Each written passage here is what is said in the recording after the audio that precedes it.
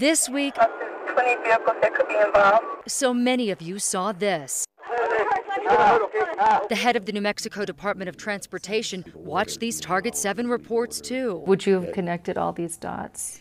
You know, I am actually this is this is good that you you brought it up because I mean it, it really it brought a focus. A focus on making immediate changes on this dangerous stretch of New Mexico interstate where blinding dust storms caused three different crashes, killing eight people this summer. Some of the things that I can do immediately are to get some signs out there, and I'll I'll get those ordered and get them going. DOT Secretary Tom Church says after our reports where we showed what Arizona is doing about deadly dust storms in that state, he's now following their lead.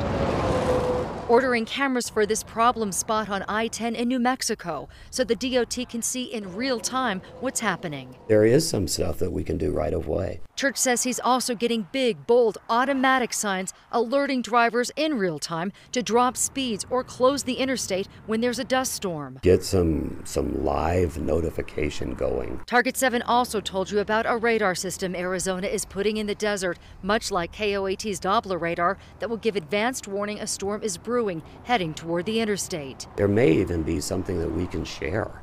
Um, you know, because uh, when I spoke to the secretary at, at Arizona, I mean, they were more than happy to share what they have.